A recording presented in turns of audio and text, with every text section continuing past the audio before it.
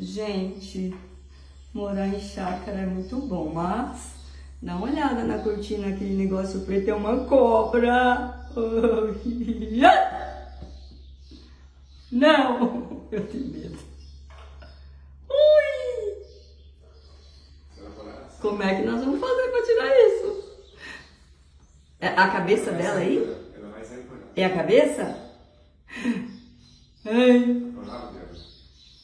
Eu acho que se você levantar a cortina, ela vai cair. Ela vai cair. Eu quero que ela caia, eu quero que ela saia fora. Ai, meu Deus. Ai, meu Deus.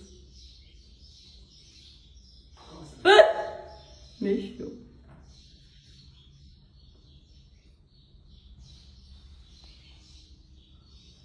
Ah! Ah! Ai do céu, o tamanho dessa cobra. Ah, eu acho que isso é... Ai. Acho que era de boa, depois outra que ela tava correndo. Gente, bom Viu? dia.